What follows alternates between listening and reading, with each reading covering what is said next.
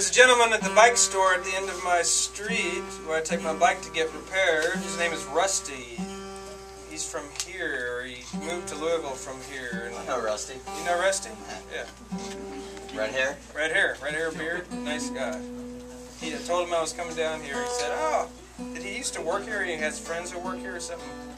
Yeah. Yeah. Kind of cool. Think about it.